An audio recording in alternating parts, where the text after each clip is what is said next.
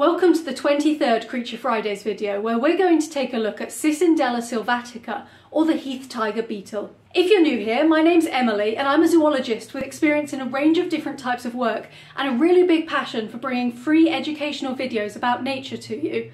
It's great to have you here and I'm always ready in the comments below to answer any questions you have on the topics that we cover in these videos. On a few isolated English sites of Dorset, Hampshire, Sussex and Surrey, you can spot one of Britain's rare beetles. This heath tiger beetle, sometimes known as the wood tiger beetle, lives on a Dorset heathland, the traditional stronghold for this species.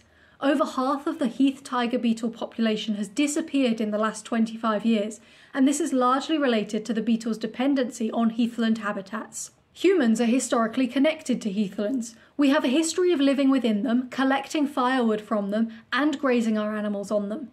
This kept the habitat open, with bare ground that the heath tiger beetle could utilise. With the loss of 80% of our heathlands, there is just not enough land to support the populations of the beetles there once were, with humanity moving to urban living, the remaining heathlands are reverting to poor quality woodland and negatively impacting a variety of heathland specialist species. This heath tiger beetle is a fearsome predator, stalking along open ground in search of invertebrate prey. He has large eyes to help his search and strong jaws to catch his meal. At 1.8 centimetres long, he is Britain's largest tiger beetle and dominates his invertebrate landscape.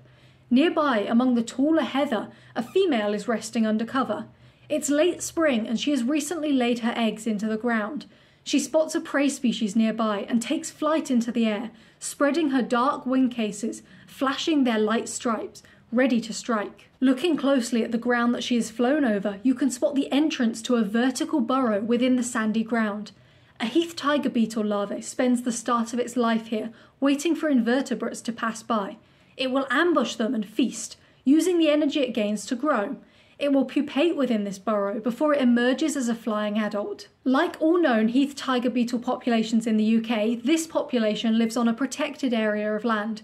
Populations either exist on nature reserves or on sites of special scientific interest, which is helpful to the species because the management should be sympathetic to their needs and should be working to help restore their numbers. If you want to support me in continuing to create these free educational videos, then check out my new Patreon page. I have five different monthly support tiers to choose from, ranging from just £2 up to the higher tiers where you can vote for video topics, have your name credited at the end of each video, receive personalised art of any UK species, and get one on one consultation calls with me on any nature related topic of your choice. Subscribe to FeraForus to keep learning about UK nature.